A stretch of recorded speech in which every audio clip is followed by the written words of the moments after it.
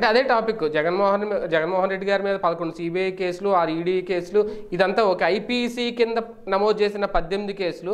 Supreme court ఉత్తర్వులు వెలువడిన తర్వాత ఒక్క రోజులో అవి కనిపించలేదు అనేది ఈయన. అంటే నిజంగా జరిగింది అనుకోవాలి ఇప్పుడు అది హింట్ ఇస్తున్నారా ప్రజలకి ఈయన? కేసులు ఎత్తివేయడం గతంలో ఉన్నటువంటి అయినా ఏం నేను చెప్పినట్టే సుప్రీంకోర్టు తీర్పు తర్వాత అనేది అంతకుముందు ఉందనేది ఈయన ఎట్లా చెప్తారు? అంటే ఆయన గూగుల్లో సెర్చ్ చేసి సమైక్య- దొరికిందంట కదా. అదే. అనేది సమైక్యాంధ్ర ఉద్యమాల. తర్వాత అప్పుడు పెట్టిన కేసులు కొన్ని.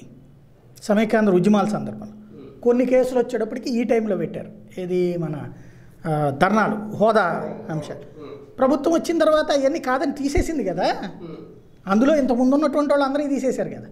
ఇప్పుడు చల్సాని వేళ కూడా తీసేశారు కదా కేసులు. అవన్నీ తీసేశారు. ఇప్పుడు వాళ్ళందరూ కూడా ఇప్పుడు ఈయనతో కలిసి నేరం చేసినట్ట. అది నేరం అవుతుందా? ఆ కేసుల సంగతి పోనీ నీకు తెలియాలి కదా. అంటే దానివల్లే కదా పోలీసులు రాష్ట్ర ప్రభుత్వ కనుసరణల్లో పనిచేయడానికి నిదర్శనం అని ఈ కేసులు తీసేయడం వల్లనే కదా ఆయన చెప్తున్నది. సుదీర్ఘ అనుభవం ఉండి రేపు రిటైర్ అయిపోయేటువంటి న్యాయమూర్తి గారు ఆ కేసులు తెప్పించుకు చూడాలి? ఏంటి ఆ కేసులు? ఐపీసీ కేసులు ధర్నాలు రాస్తారోకోలు వీటిటి నేరాల. అదే అయితే కనుక రాష్ట్రంలో ధర్నా చేసిన వాళ్ళు ఇప్పుడు ఎక్కడ ఎందుకు అమరావతిలో ధర్నా చేస్తున్న వాళ్ళందరినీ జైల్లోనే ఉంచాలిగా? వాళ్ళందరి మీద అసలు బయట నువ్వు వాళ్ళకే అరెస్ట్ చేయొద్దని నువ్వే అలా ఆదేశిస్తావు కదా. అనుకుంటే తుని రైలు ఘటనకు సంబంధించి మరి ఎంతమంది మీద కేసులు ఎంతమంది ఎత్తేసారు మీద అప్పుడు? తీశారు ఇంకోటి ధర్నా చేస్తుంటే నేరం అయితే అమరావతిలో అట్లా నువ్వు దండం పెడతా చేసిన ధర్నానే కదా. మరి వాళ్ళందరి మీద కూడా కేసులే కదా. అవును. అవన్నీ కూడా వాళ్ళని బయటికే రానియకూడదు కదా. ముఖ్యమంత్రిది ఆ కోణంలో నుంచి ఎట్ట చూస్తారు ఇక్కడ? అది ఇక్కడ ఏంటంటే వాస్తవంగా ఆయన మీద ఉన్నటువంటి ఒక ప్రాబ్లమే అది. The way. ఆయన థింకింగ్ అనేటువంటిది. అది ఇంతకుముందే అభ్యంతరాలు అయినాయి ఇప్పుడు ఆయన మొన్న చెన్నైలో తమిళనాడులో ఒక న్యాయమూర్తి గారి మీద ఇష్యూస్ ఇయే వచ్చినాయి. ఈయనది ఇయే వచ్చినాయి. న్యాయ వ్యవస్థ ఇట్లాంటి విషయాల్లో కొత్తగా ఆలోచించాల్సిన అవసరాన్ని కల్పించిన సందర్భం ఇది. న్యాయ వ్యవస్థ హుందాతనాన్ని పరిరక్షించే ఒక లక్ష్యంగా పెట్టుకునే రాకేష్ కుమార్ గారు ఈ వ్యాఖ్యలు చేశారు. ఆయన ఆ ఉద్దేశంతోనే అన్నాను అన్నారు జనాల్లోకి చర్చికి తీసుకెళ్ళారు. జనం డిసైడ్ చేసుకుంటారు. ఇందులో. అంటే ఇందులో న్యాయ వ్యవస్థ కూడా ఒకసారి బాధ్యతగా వ్యవహరించాలని కూడా ఒక మాట అన్నారు న్యాయమూర్తులు కూడా. అదే అనేది ఇప్పుడు న్యాయ వ్యవస్థ తప్పుడుదే. రాజ్యాంగ వ్యవస్థలో ఇప్పుడు ఇవన్నీ కూడా తప్పుడియే. ఏది వీళ్ళు చేసినవి అన్నీ తప్పులే. ఎవరు కరెక్ట్ అంటే ఆయన ఒక్కళ్ళే కరెక్ట్. అది అవునా కాదా అదే అనేది ప్రతి దాంట్లో డొల్లతనం ఉంటుంది. ఇప్పుడు ఈ రాజ్యాంగ విచ్ఛిన్నం అని తీసుకోవడం మీదెంత తప్పు? ప్రభుత్వం రంగులు వేయడం అంతే తప్పు. అయితే ఈ రంగులేసే దాంట్లో గత ప్రభుత్వం రంగులేసింది. చివరికి టాయిలెట్స్ కట్టించిన దానికి కూడా రంగులేసింది. మంచినీళ్ళ దానికి రంగులేసింది.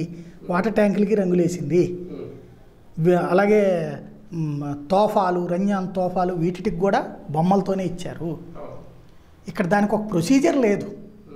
ఏ పార్టీ పవర్లో ఉందో వాళ్ళ రంగు వేయకూడదని ఏమన్నా చట్టం ఉందా? లెక్క అయితే వెయ్య ఎథిక్స్ అది. అంతే.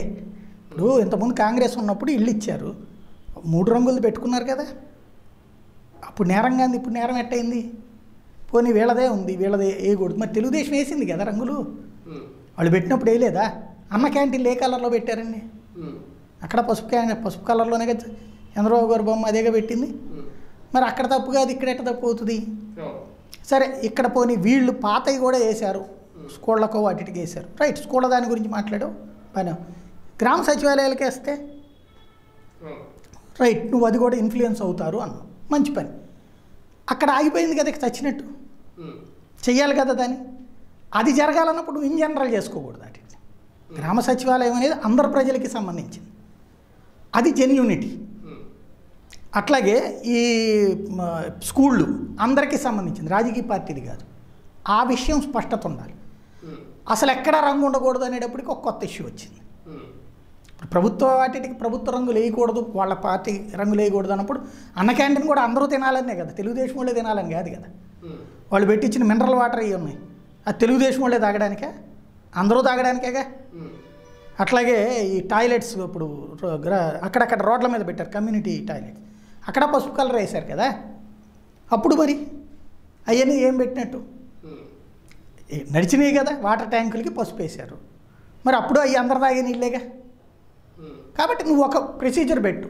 ఈ కలర్స్ అది ప్రభుత్వానికి ఆదేశిస్తావా? లేకపోతే నువ్వే చెప్పు తీర్పు. ఏ పార్టీ రంగు గాంధీ ఏది ఉంది? తెలుపు జనసేనకు ఉంది. కా కాంగ్రెస్ జెండాలో కూడా తెలుపు ఉంది. గ్రీను వాళ్ళకుంది ఇది ఎంఐఎంకి ఉంది. ప్లస్ మన దేశ జెండాలో కూడా ఉంటుంది కాంగ్రెస్ జెండాలో కూడా ఉంటుంది. పసుపు తెలుగుదేశాన్ని ఉంది.